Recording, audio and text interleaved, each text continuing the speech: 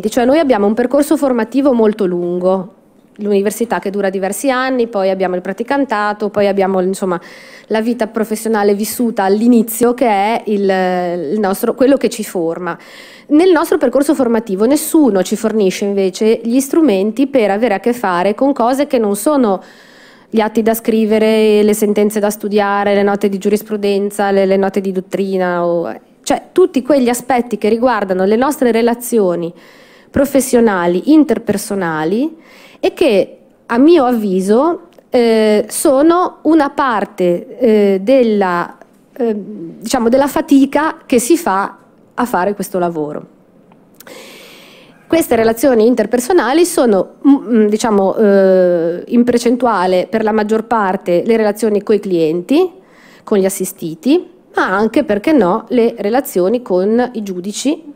e le relazioni con i colleghi. Cioè eh, noi abbiamo diciamo, una grossa fetta della nostra giornata lavorativa che è caratterizzata dalla gestione di queste, eh, di queste cose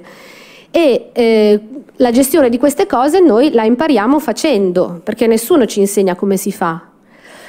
Ehm, teniamo conto di un'altra cosa poi, che la nostra professione ehm, si può, eh, secondo me si avvicina molto, non, non, so se si può definire propriamente, ma si avvicina molto a quelle che invece vengono definite professioni di cura che sono mm, il medico, lo psicoterapeuta, l'operatore umanitario, l'educatore, l'assistente sociale, vate la pesca, ok?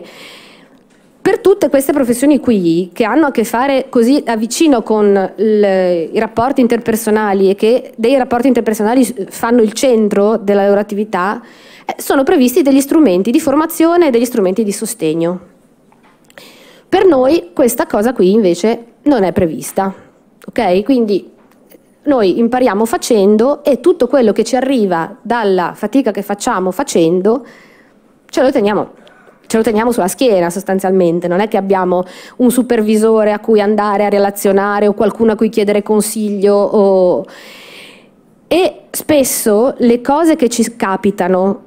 ehm, che siano difficoltà, che siano fallimenti, che siano soddisfazioni o che siano successi, per quanto noi le raccontiamo a chi ci sta più o meno vicino, non vengono mai comprese davvero, cioè